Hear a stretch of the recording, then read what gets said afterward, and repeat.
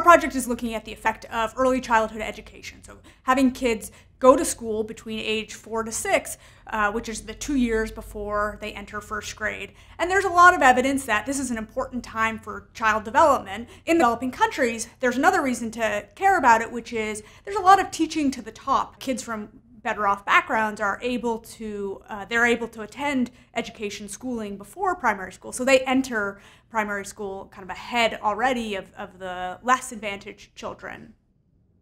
We collaborated with an organization that runs 200 kindergartens in the state of karnataka uh, and we offered scholarships to kids from less advantaged families to attend uh, kindergarten for two years. We worked in, across 71 villages and we enrolled 800 families, 800 children in the study. And in each village, we had a lottery, so half of the children in the village uh, received a scholarship. And we use that to see okay, does getting the scholarship uh, increase the attendance at hippocampus learning centers? That's the name of the organization we work with. Uh, and then in turn, how does that affect children's development? We look at outcomes at two points. First, right at the end of kindergarten or the two years uh, after our the start of our study, and then again a year later to see what persists. We find that, first of all, getting the scholarship has a big increase in the likelihood of attending hippocampus learning centers.